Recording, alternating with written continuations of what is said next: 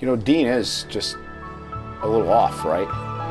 You see that? I mean, in, in, in a fun way. I, what's off to you is just right to me.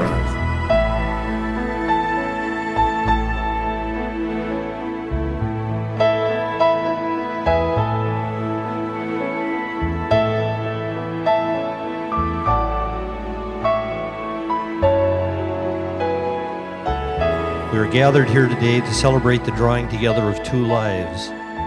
This commitment is not to be entered into lightly, but with certainty, mutual respect, a sense of honor, and eternality. By a mutual commitment to love each other, to work towards creating an atmosphere of care, consideration, and respect, by a willingness to face the tensions and anxieties that underlie human life, you can make your wedded life come alive. And now Roman Reigns, and Dean Ambrose. will speak their vow that they wrote together. What is it about Dean Ambrose uh, that has kept you guys together for so long? My whole life, I've been a physical person. I've been an athlete. I've been in the trenches. I've been through so many battles. Um, but he's never faltered. He's always had my back. Always. Never faltered. Helped me provide for my family. Taking care of me when I needed help. He's a good dude.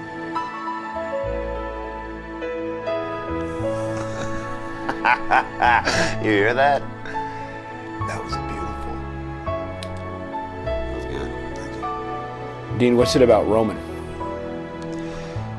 There are a lot of people in this world that suck, and you can tell and sniff those people out if you, uh, if you're real, if you're a real dude, a real straight up dude, and uh, those kind of guys can sniff each other out. And Roman's a real straight up dude. What you see is what you get. What he thinks is what you're gonna hear. What he says he's gonna do, he does, and uh, you know that's the kind of people you want to be around. That's the only people I can associate with, and there aren't many of them. I now pronounce you legally married. You know, this is now.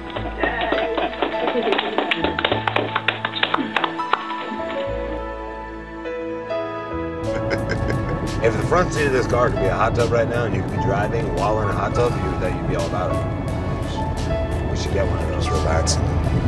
We should look into renting one of those.